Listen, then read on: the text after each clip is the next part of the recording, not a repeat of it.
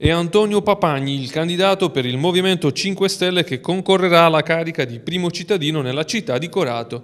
A decretarlo sono state le urne delle primarie celebratesi nelle giornate di sabato e di domenica, alle quali hanno partecipato 399 coratini.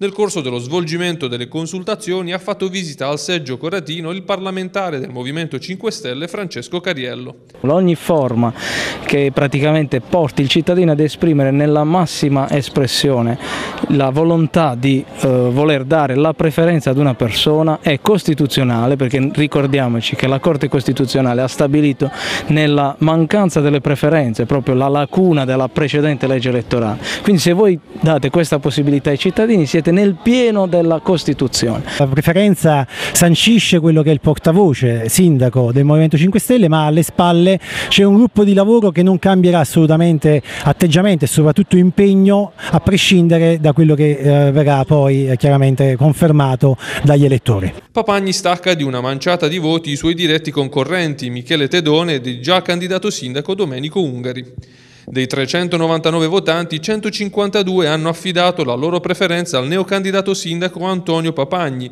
mentre i voti conseguiti da Domenico Ungari e Michele Tedone sono stati rispettivamente 137 e 109 una sola la scheda bianca. Massima soddisfazione per eh, il risultato ottenuto co collettivamente, eh, siamo andati ben oltre le nostre aspettative perché abbiamo preso praticamente 400 voti e quindi per noi questa è grande soddisfazione.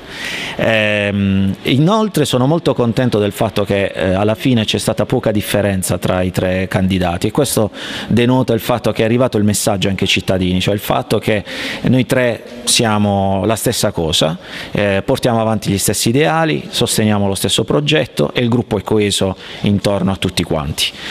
Da domani c'è lavoro da fare per tutti.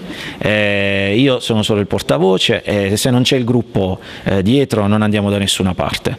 Eh, c'è da completare il programma elettorale e c'è da portare avanti le iniziative per affrontare questa campagna elettorale. Per noi è importante mh, portare elementi che possano migliorare eh, la qualità della vita a Corato.